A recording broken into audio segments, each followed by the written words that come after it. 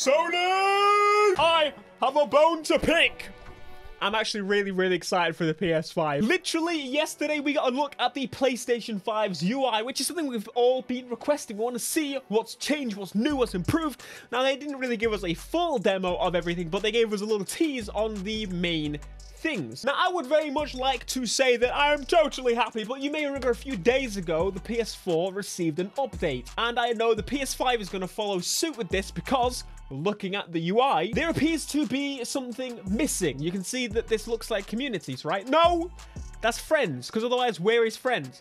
Either way, it's communities or not, I want to nitpick about something pretty important to me. Now you're going to say, Theo, you're a YouTuber because the community is important to you. Hey, but listen, my point is, I use this community for one huge thing, and that is inviting people to play with me on streams and just in general.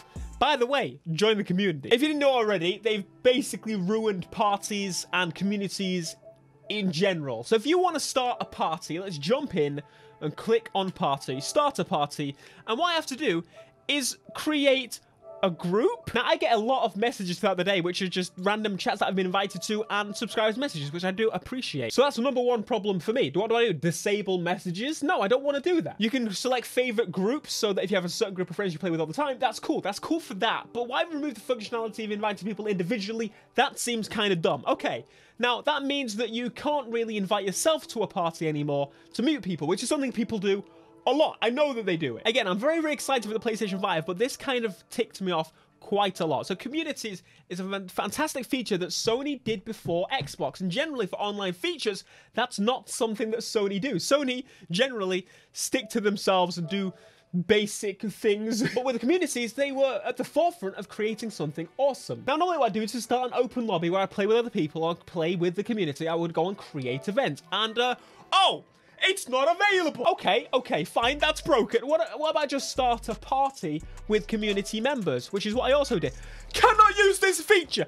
Are you kidding me? This is one of the best things you could do on PlayStation. Create and share invites with communities. Create big groups of people that can join in. This, to me, it's backwards. I really, really don't understand. Now, of course, there's a feature, a way to get around the issue of you want to join in a party yourself. What I, do, honestly, this is what I have to do on PlayStation to mute. I have broken some headphones. I broke some headphones so I could block in so it blocks all the game chat because I just, I don't want to hear the game chat when I'm playing. But the fact I have to do that is kind of ridiculous. The communities are now, quite frankly, useless. All it is, is this sessions thing, which again, is I guess you could say is useful. But as you can clearly see, going through all these, there is only one or two that has more than one people in it. And you know that why that is? It is because these sessions are actual game sessions. If I try to join some of these sessions, they're probably either in solo or they're in a full session. This is really, really frustrating because we have a community that is literally 43,000 members and it was increasing. And I haven't pushed it in a long time, which I feel like I, I should have because I might have been able to save the community. We're the biggest racing game community on PlayStation. Bigger than the official Gran Turismo one, which was just crazy. Maybe that's why. They want Pants to be number one in terms of the comment. Ah, I'll I'll be number two if you want. Just just fake your numbers. But the reason this worries me is because it means that it's probably a thing on the PlayStation 5 UI as well. That that is very worrying because how on earth am I supposed to invite my community to play with me? Now, I don't even use parties for communication on PlayStation. I think most of us where they have a laptop or a computer or a phone use Discord to communicate. And parties are a thing that some people use quite yes, but you've made it even more complicated for those people that actually do, and you've made it for people like me that genuinely don't want to use it, now not even want to use it anymore, at all, ever. Never do want to touch it, because you've just taken away one of the best features of this. Now, again, not everyone has big followings, Theo. Oh, you're a YouTuber, of course you just want to, you want to fill your ego full of... No, my point is, I want to play with my subscribers. I want to play, and that was the easiest way now what I have to do, you're telling me at the beginning of every single stream, I now have to add every single subscriber to my list, and eventually I'll hit the cap of subscribers. And when I try and do a solo video on my own, in an open game, just trying to get a real feel of the, the experience of the game, I all of a sudden am bombarded with people following me and the like, which again is not I'm not complaining because I would totally do the same if I found a, a person that I watch in a game or in, not in real life. I, I can't say. Don't follow people in real life. Don't do it. But it's a shame because the functionality here was fantastic and it's taking away from that fantastic functionality. I hope and pray that maybe they removed it to improve upon the feature. But this update very clearly coincided with the release of the video showing us the new UI for PlayStation because it came out literally two days, a day, two days before they revealed the UI of the PS5, which the PS5 doesn't even like it has a community function, though it may be hidden inside the friends function. You can no longer create private communities, you can only make public communities, which doesn't bother me at all because the whole point of this new party system is to keep parties consistent. Your group of friends consistent. So if you have a group of friends that you play the games, all your games with all the time, that's a group. If you have friends that you play um, Call of Duty with all the time and nothing else, you have a Call of Duty team. It's, it's good for clans, it's good for small groups of people, but when it comes to communities, this is starving of now what Xbox took. Now, Xbox did take this feature, and quite frankly, I do not blame them.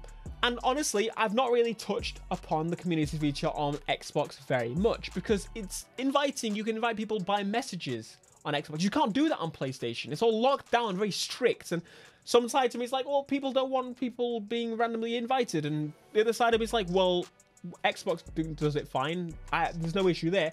Quite frankly, Xbox took it and did it maybe better, maybe the same, but now PlayStation removed it. That just seems so backwards. It was something that PlayStation did before Xbox in terms of social features. Social features on PlayStation generally are worse. Openly honest, are worse. The only thing that PlayStation has better is usually the, the streaming features and so on and so on. But it's like them removing that feature.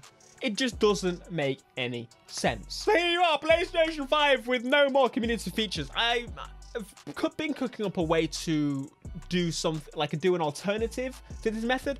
But honestly, it's only, it's a botch job. It's, it's the fact that I, I would either have to get a community member, a moderator to add everybody and delete everybody after all the games, which is just totally unfair because then uh, that's maybe a spot that I'm to have to say that they get because they did all that work for me. You know, I'm to have to tweak and play it like that.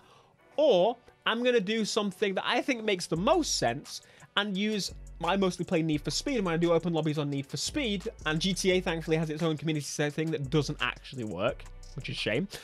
But in terms of Need for Speed, thankfully, crossplay is now a thing. But great, thank the Lord that that's a thing, because I can now use that to my advantage. I can add people on my uh, my Origin, which means people are going to need to install the Origin app to add me to play with me on PlayStation. It's just so it's it's not it's not acceptable quite frankly. I needed to make a video on this because i know uh, a lot of people complain about the party system in general but i wanted sony to see this side of it. I know for sure that i'm probably going to upset some sony employees and i'm probably going to be thrown onto a back burner like oh get the, get this man out of here.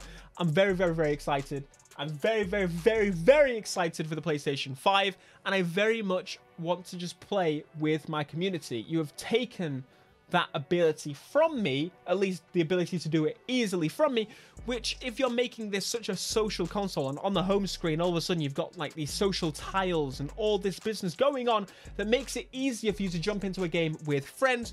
Why on earth have you removed the ability for me to form a community that actually makes people find other people with similar interests and they play together and they like um you may be saying ah there you're talking the poo-poo i am not talking the poo-poo because as you saw scrolling down this list very clearly there is a, a few people that are playing together.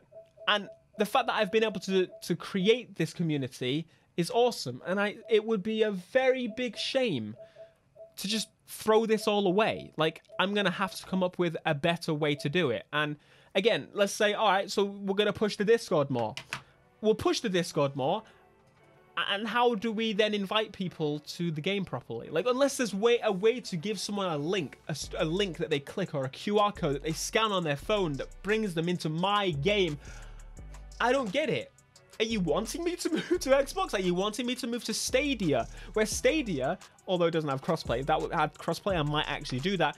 Stadia has the future ability, or will have an ability to join uh, see a live stream that someone is streaming the game on YouTube and you click join and it puts you in the game instantly no loading times no downloading like to me that that is that's what you want to aim for. You're, you're going a little bit backwards here. All right, so let me know your thoughts down below. Have you downloaded the update? I'm pretty sure you have if you've played PlayStation. Has it ruined parties for you? I want to hear everything you have to say about this because hopefully we can get PlayStation to fix this now before the PS5 comes out and it just ruins people's want to create parties and and and, and the like. Alright. Be sure to smash like, subscribe if you're new, and I'll see you in the next video, which won't just be me ranting about PlayStation. Because I love you, PlayStation. Until next time, peace.